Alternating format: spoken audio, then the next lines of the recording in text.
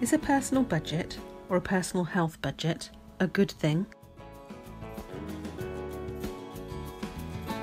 Using a personal budget to manage your health, care, and support needs is intended to enable you to live well for a better life. Having a personal budget should give you more choice and control, greater independence, more flexibility in the way your care and support is managed.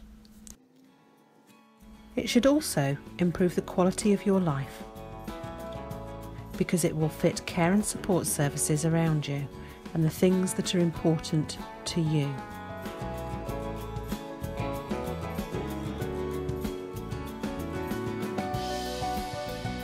For further information about direct payments, personal budgets, and personal health budgets, please go to the TLDS website at tlds.learningpool.com and search The Pursuit of Confidence.